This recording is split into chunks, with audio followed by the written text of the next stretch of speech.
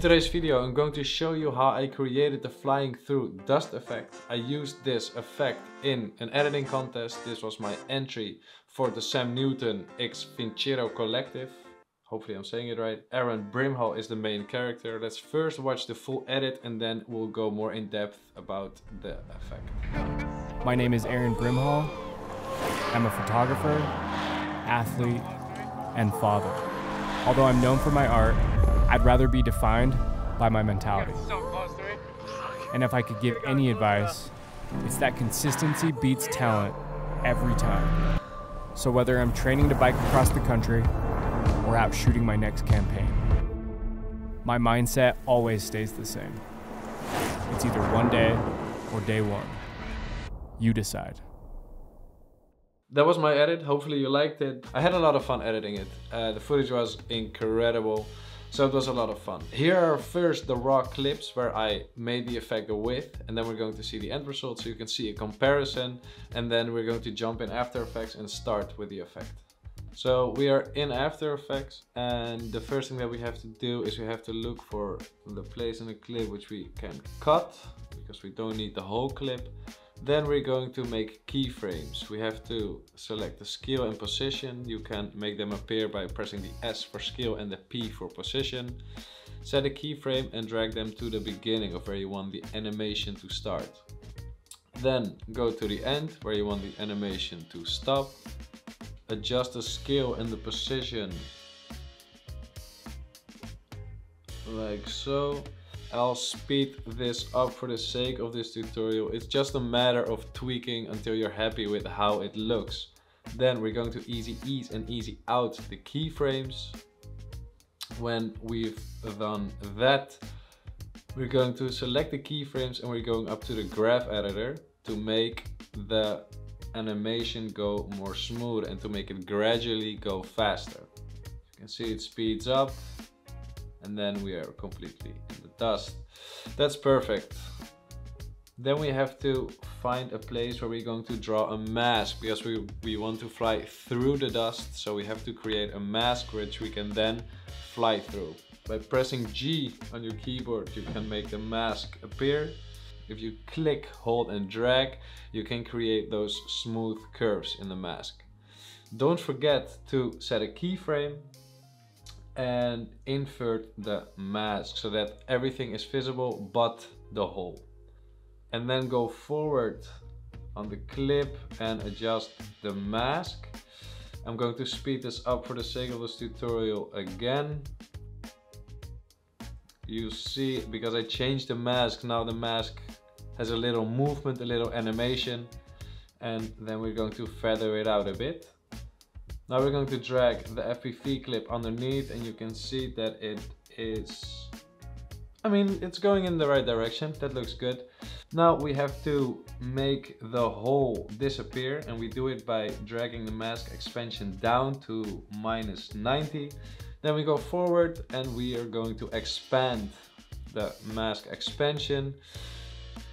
Let's see, bigger until the dust is completely out of the screen move the keyframe a bit further and let's see how it looks. The hole disappears and we fly through.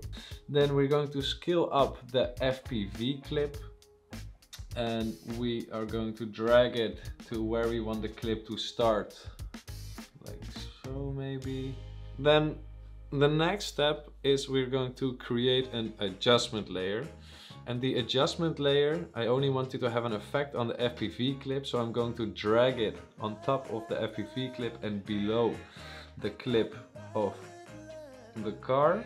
I cut it by holding Command Shift D and I'm going to add the wiggle position effect. And then again, this is tweaking, it's playing around with the settings until you're, you're satisfied, until you're happy with, with how it looks. So then again, I will speed it up for the sake of this tutorial to keep it as short as possible. A lot of people always think, ah yeah, that's that you can do it in two, three minutes, but it takes a lot of time usually, but that's what people don't see. They see the effect, they're like, oh, that looks cool. But then it's trial and error, you just try it again, doesn't work, try it again, maybe in a different way until you're you're happy with, with how it looks. Now that we have the wiggle exactly how we want it to be, we can look for a place where you want to cut the FPV clip. And I want to do it at a point where there's a lot of motion blur, where there's a lot of can be impact. So we can match it with the next clip. And then that's it. Let's watch the clip now. Let's watch the edit.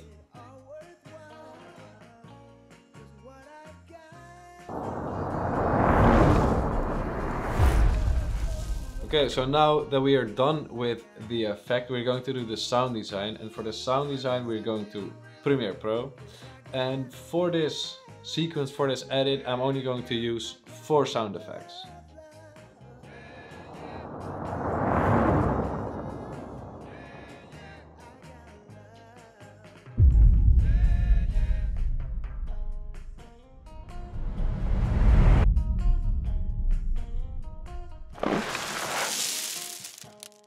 We are in Premiere Pro. I already got the car drive-by sound effect selected.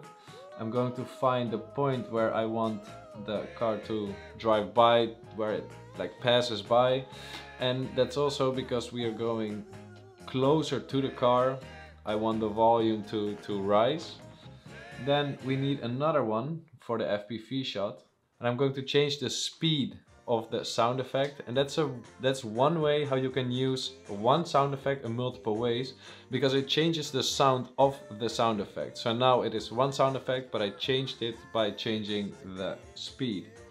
Then I'm going to set keyframes for the level so for the volume and that's it. Then we have something like this.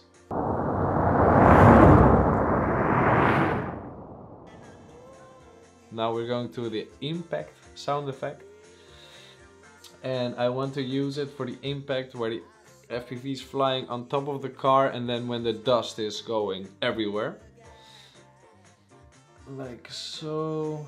Just find the exact point. Um, boom.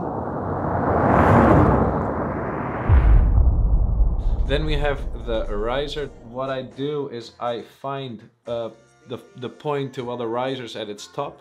There I cut it, then I can drag it to where I want it to be at the highest point, make it longer, extend the sound effect, and you're done.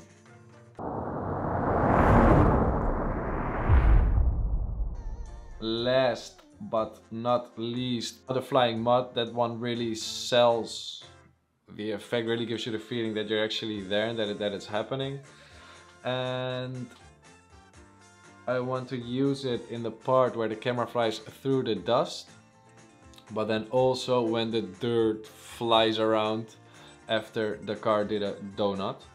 So I'm going to change the levels a bit because I only want the beginning of the sound effect, like so. Then we need another one for when the dust flies around and for this one I want to use the whole sound effect but the volume is a bit too loud so I'm going to drag it down. On the right side of the screen you can see when the audio is speaking or not. When it's red, it's no good. I want the end of the sound effect to be a bit softer so I'm going to set two keyframes and drag the volume down and that is it. Boom. That's it. That's how I edited the flying through dust effect in After Effects and how I did the sound design I hope it was helpful. Thank you so much for watching and I'll see you in the next one.